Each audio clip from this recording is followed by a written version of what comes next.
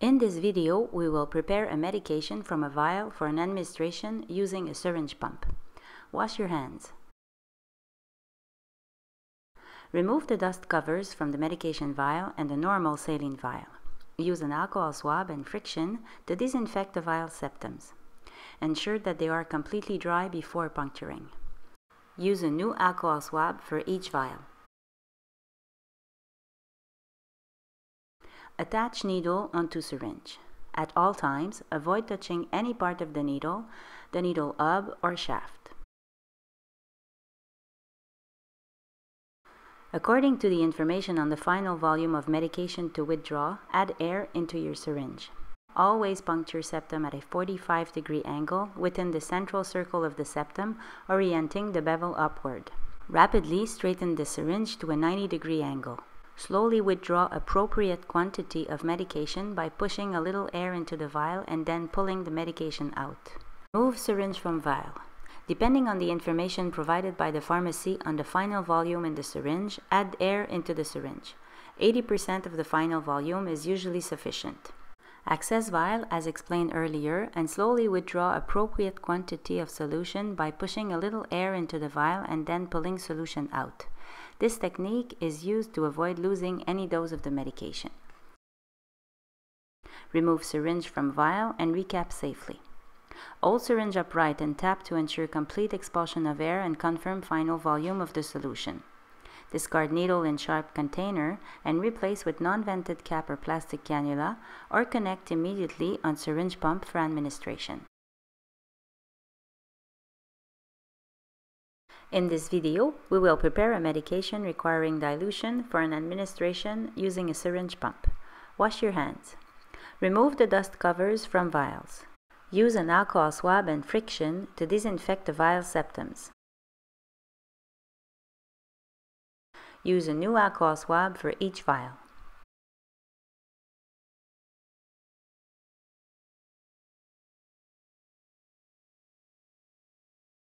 Ensure that they are completely dry before puncturing. Attach needle onto syringe. At all times, avoid touching any part of the needle, the needle hub or shaft.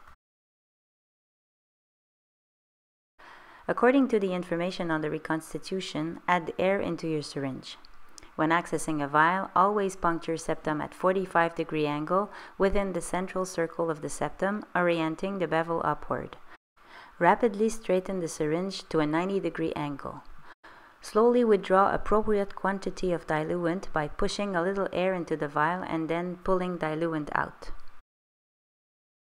Remove needle from vial and access medication vial as explained earlier. Slowly inject the diluent into the vial.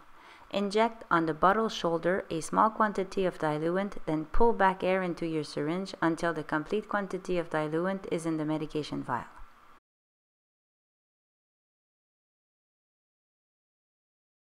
Remove empty syringe from medication vial and recap safely to avoid needle being exposed to air. Gently swirl on countertop or roll bottle between your hands to dissolve completely. Do not shake vigorously.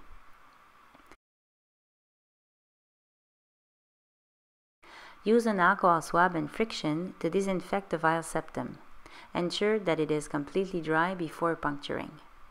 Access the vial as demonstrated earlier and slowly withdraw appropriate quantity of solution by pushing a little air into the vial and then pulling solution out. This technique is used to avoid losing any dose of the medication. Remove syringe from vial and recap safely. Hold syringe upright and tap to ensure complete expulsion of air and confirm final volume of the solution. Discard needle in sharps container and replace with non-vented cap or plastic cannula or connect immediately on syringe pump for administration.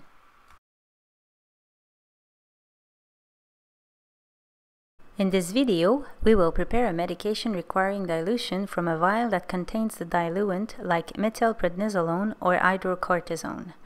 We will then complete the volume for an administration using a syringe pump. Wash your hands. Remove the dust covers from the vials. Use an alcohol swab and friction to disinfect the septum of the vial of normal saline. Ensure that it is completely dry before puncturing. Attach filter needle onto syringe. At all times, avoid touching any part of the needle, the needle hub or shaft. Press the top part of the medication vial to push diluent into powder. Gently swirl on countertop or roll bottle between your hands to dissolve completely. Do not shake vigorously.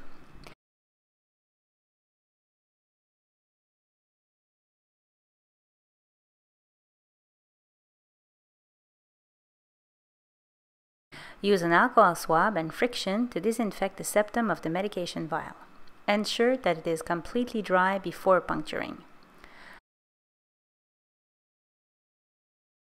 Puncture septum at a 45 degree angle within the central circle of the septum, orienting the bevel upward.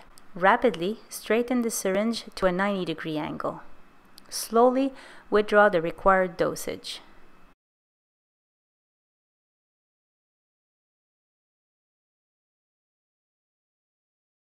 Recap safely to avoid needle being exposed to air while measuring the exact dose of medication in the syringe. Depending on the information provided by the pharmacy on the final volume in the syringe, add air into the syringe. Puncture septum of the normal saline vial at a 45 degree angle within the central circle of the septum, orienting the bevel upward. Rapidly straighten the syringe to a 90 degree angle.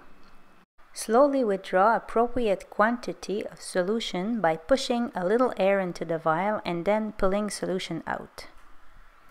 This technique is used to avoid losing any dose of the medication. While withdrawing, avoid touching the septum with the needle up. Remove needle from the vial and recap safely. Hold syringe upright and tap to ensure complete expulsion of air and confirm final volume of the solution. Discard needle in sharps container and replace with non-vented cap or plastic cannula or connect immediately on syringe pump for administration. In this video, we will prepare a medication from a glass ampule using a filter needle. Wash your hands. A filter needle is to be used every time you're preparing medication from an ampule to ensure that glass particles are filtered out of the solution. Using an alcohol swab, disinfect the ampule neck and allow to dry completely. Use a sterile gauze or a second alcohol swab to hold the glass ampule neck and break the ampule away from you. If your ampule has a white dot, place the dot away from you to break the neck. Discard neck in sharp container. Attach filter needle onto syringe. At all times, avoid touching any part of the needle, the needle hub or shaft. Withdraw content of the ampule by placing the needle bevel down at the level of the shoulder of the ampule. The filter needle contains 0.07 ml. If there's no overfill in the ampule, you may need a second ampule to obtain complete dosage. Recap safely.